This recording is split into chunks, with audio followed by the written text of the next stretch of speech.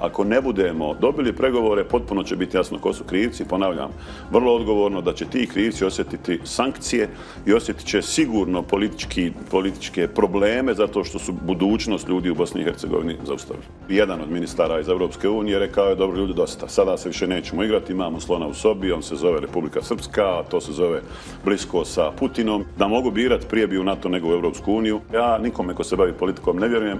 Sebi jer, ugledalo? Pa ja mislim, pokušavam sa sobom biti načisto i nisam se još uhvatio u laži nikada. Oni treba sebi i svojoj djeci i porodicama i prijateljima da objasne zašto negiraju notorne činjenice kad je riječ o njihovoj odgovornosti. Kako je biti izdajnik?